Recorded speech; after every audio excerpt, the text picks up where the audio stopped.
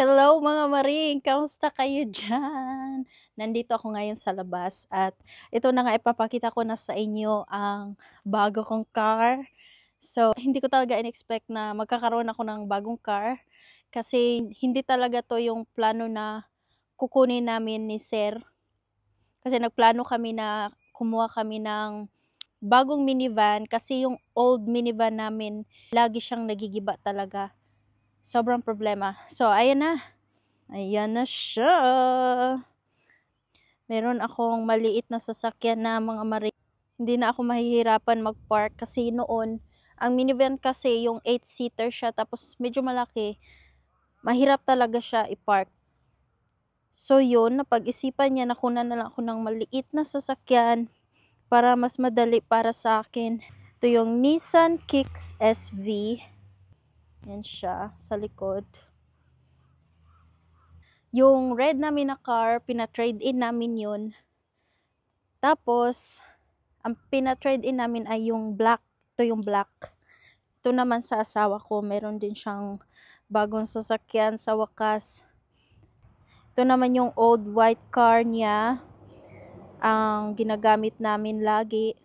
So, mga 10 years old na yung car na yan, pero grabe, walang problema sobrang happy ko kasi finally meron na kaming reliable car.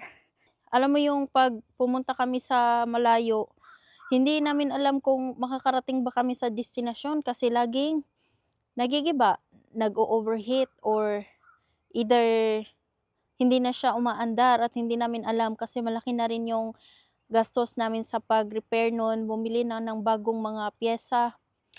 Una, nagiba yung window yung window nahulog, nagiba. So, inayos. Sunod naman yung slide door, hindi na um, nag-open. Sunod naman yung door sa passenger side, hindi na rin nag-open. So, ayan, ilang years din ha, ilang years din yung pagtiis namin. Alam mo yung pumasok ka na sa loob ng sasakyan kasi ready na kayong lumabas. Pero, hindi natuloy kasi yung sasakyan ayaw umandar. So, wala uh, sobrang stressful talaga nung time na yon. So ayan, finally dininig na rin ni Lord ang aming mga prayers. Ipapakita ko sa inyo ang loob. Nakalimutan ko yung key. Ito yung loob ng sasakyan. Super cute at ang ganda talaga. Sobrang gusto kong car na to kasi napakagaan pag mag-drive mga maring. At hindi ako mahirapan na mag-park kasi maliit lang siya. Ayan, oh. Yan. Five-seater. Hindi ito promo ha at hindi rin ito sponsored. Pinapakita ko lang kung ano ang nasa loob. Baka naman magustuhan nyo, ikumuha din kayo. Uh, ayan naman yung screen. Yan, maganda siya mga maring. Sobrang soft talaga na drive ang car na ito. At ito naman yung nasa likod niya. Paano ba ito ma-open? Hindi ko alam guys. So, ito yung sa likod niya. Meron siyang back door. Lift, lift door. Ito naman siyang loob. Medyo malaki rin yung space sa likod. Hindi mo akalaing may ano din siya. Malaki din yung space sa likod. Ayan. So, at dito naman sa likod. Ayan siya. Unang dating ko dito is um, 2019 hanggang 2020 wala akong car. So nasa bahay lang talaga ako. Tapos nag-aantay lang ako, saka lang ako nakakalabas kapag um, pumupunta kami ng grocery or day off ng asawa kung may pupuntahan. So dito sa Amerika mahirap talaga kung walang sasakyan kasi hindi ka makakalabas, wala kang life. Wala talaga. So, tiis-tiis muna hanggang sa 2021 yun, bumili na yung asawa ko ng um, second hand na sasakyan, yung minivan. Actually, nagsisi kami na uh, binili namin yun kasi um, even though second hand siya, medyo mahal. Tapos, laging nagigiba. Parang na-scam yata kami ah. Laging nagigiba talaga. Yung minivan na yon is year 2020 tapos yung miles niya maliit lang, 113k only. Pero mag mag-wonder ka bakit ganun laging nagigiba eh hindi naman siya laging ginagamit. yung miles niya maliit lang. So, it means hindi siya laging ginagamit. Pero, nagamit rin naman namin siya na nakapunta rin kami ng South Carolina, nakapunta ng Florida, at dahil doon, nakaka, nakukuha ko yung anak ko sa eskwelahan. Yun lang talaga yung purpose ko nga na pagtatawag yung teacher, makukuha ko yung anak ko doon sa eskwelahan pag may sakit. Yun talaga importante or mahatid ko sila sa mga appointments. Pero even though nagsisi kami, pasalamat pa rin ako dahil sa minivan na yun, natuto ako mag-drive. Yun yung ginamit ko sa road test ko doon sa uh, DNV. DMV ba yan? DMV, yung tawag nila dyan.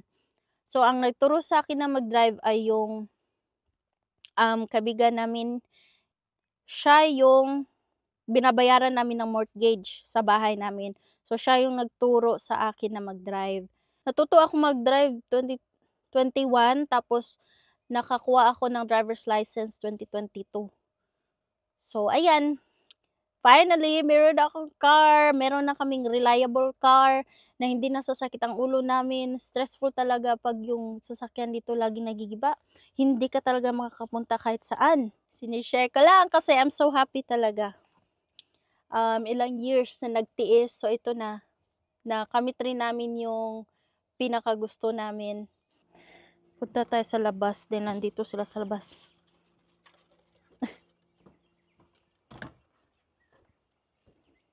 Ah, may ginagawa siya dyan. You taking that down?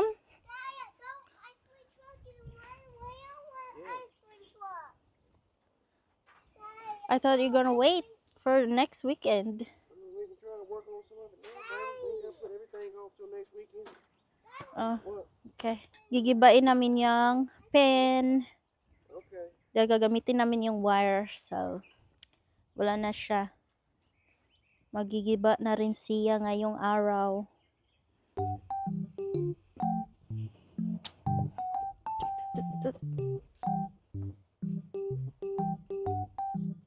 Want me to cut this?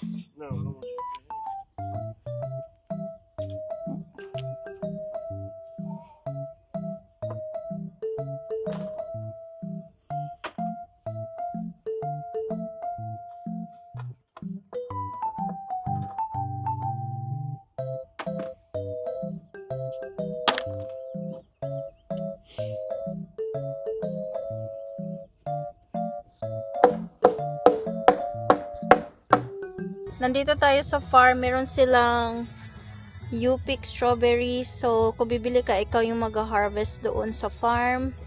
Nandun sa likod. So, samahan nyo akong mag-pick ng mga strawberries. So, nandito na tayo sa farm.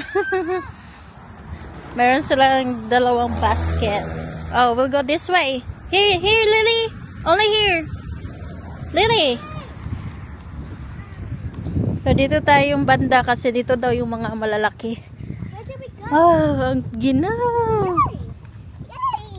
Go get some strawberries. You need to get the uh, pretty ones. Perfect one. Yeah, the perfect ones. Oh, yeah. Oh, these are the big strawberries. I Pipeline. Go get. Pupuniin natin tong buckets. How much is one bucket? Fifteen. $15 one bucket. I got one with the step on. Yay! Where I do go? I know it's really cold. I should have. It's not cold there. But here it's cold. Cause you're out here on the field. It's open. I got one here. Get the red ones. Yeah, don't get no green ones. Get red ones. I don't like this. Oh, the perfect.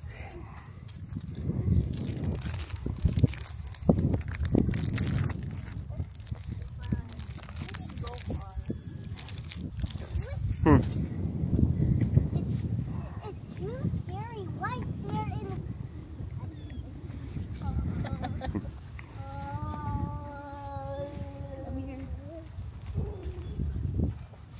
Trying to eat my mounds. They didn't have the almonds. They just had the regular mounds. There it is. This is the go Daddy, look! Yeah, I'd say.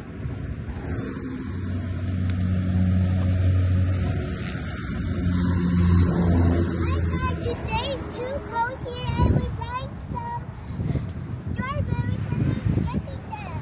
Mm-hmm. More here. Mommy, don't want to go. Further down. The, the big one's down. Yes. I see a big old It will still turn red, right? Even if we Yeah, pick this if yeah, if you don't mess with it, it'll ripen to a degree. But I mean, don't don't pick a green one and expect it to turn.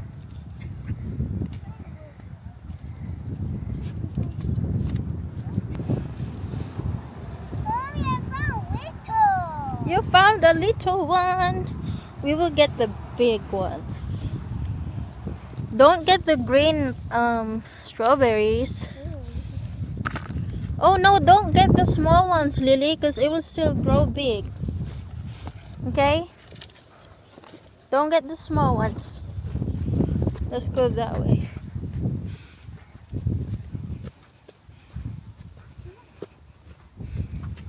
They already harvested some, so. Oh, oh, this one here got a lot of reds.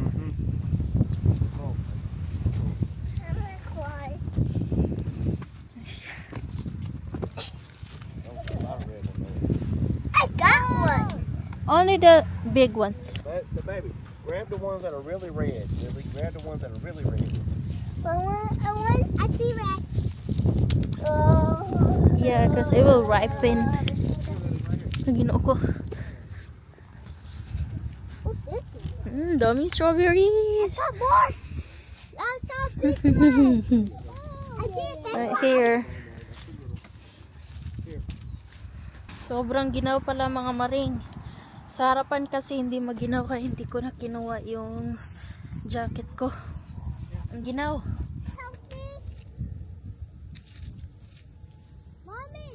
Mm. can you help me? Sobrang dami strawberries. Can you help me to find the red ones? Oh, that's a lot of red ones here. Don't get this one. This, um, Lily, mine. you can get the big one. Don't get this one. Hmm?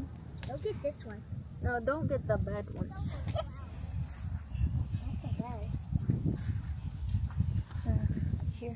One is big. Oh, some got eaten by the bugs.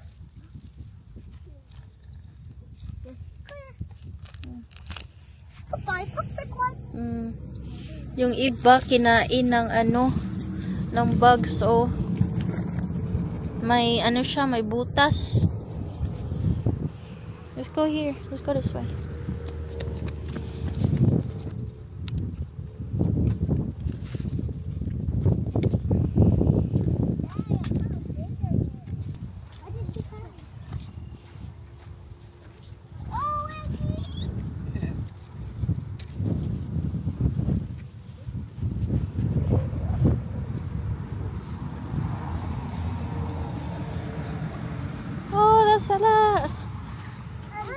Found a big one.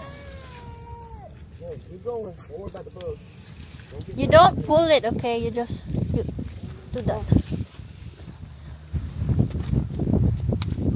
Don't get none that's doubled out, split. Because they'll- Yeah, don't get the, the bugs. The bugs ate it. Yeah, the bugs. Wow, they won. Like see here, Smiley? Big one. You see how it's hollow in the middle? Where the bugs ate it. So don't get none that is like that. Yeah. Hey, Lily. Hey,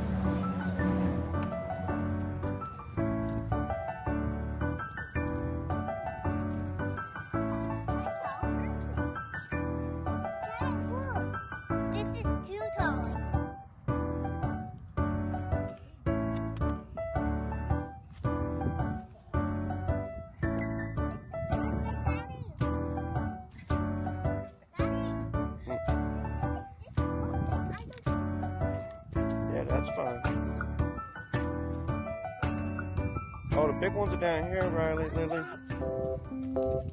What's the big one? Wow. A lot of them got so big though. Yeah, they got so big, the bugs ate them out. This is perfect. Yeah, I got Here, another here, one. Riley. Yeah, look at that. That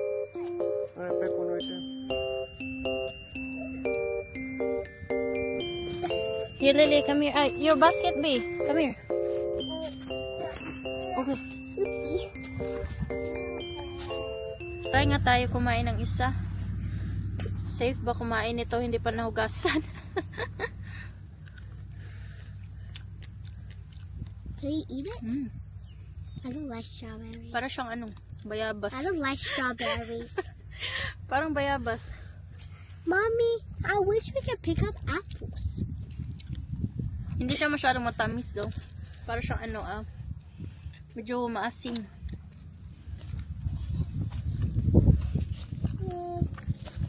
Here. Asa dito? Malaki. There's a big one for you.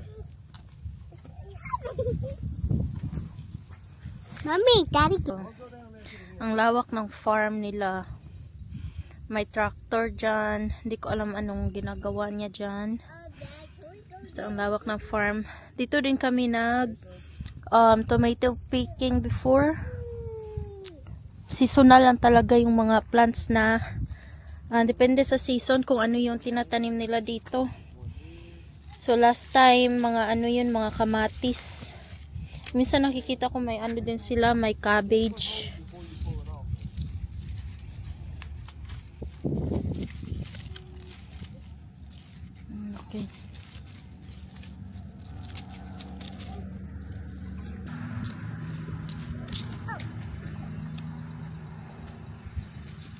Almost full.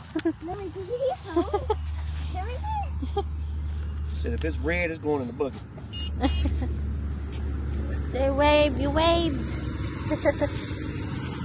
All right. I think they're planting something. Yeah. They're planting a new seeds. Mommy, did you have carrot? Uh, no, I was doing snack. I think that's it. Um, is there more space? Now they're about full. You can put a little bit more in there, but not much. I really want to eat them. We will eat them. No, when when we get home, we'll wash them off and you can eat them. Ow. Probably will freeze some and you can uh, eat some. Oh, the the strawberries we picked last year. I still have it in the freezer. We're going home. Uy, nagtagang ang isa. Saka strawberry.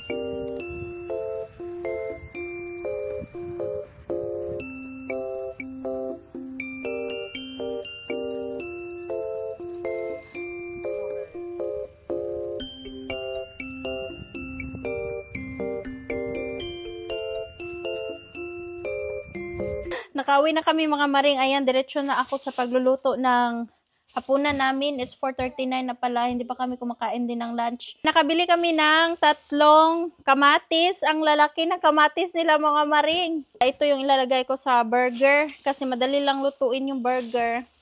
Madali lang matapos. Kasi gutom na sila. Nakabili din kami doon ng green apples, mga maring. Ayan siya. Oh. Ang lalaki ng mga apples. green apple. You want some? We have to wash this first, Lily.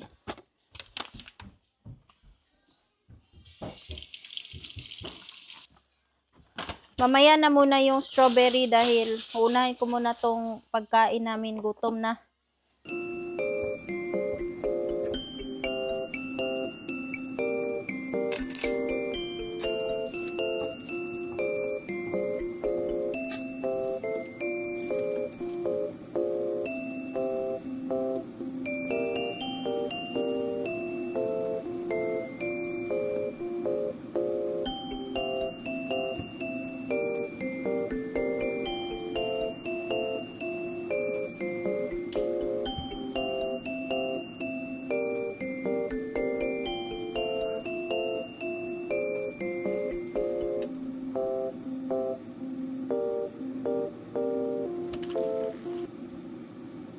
Natapos na ang lahat kumain. Kaya ngayon ay maghuhugas na naman ako ng plato. I-clear ko muna tong anong, lababo namin para malagay ko yung strawberry dito. Mahugasan ko. Yung asawa ko nasa labas, um, nag-continue siya na gibain yung old chicken coop namin. Wala na kasi kaming mga manok. Kaya, i-dismantle na lang siya. Tapos, i-reuse namin yung mga wire mga kahoy na nandoon. Kung ano ba yung ma, mga project sa susunod.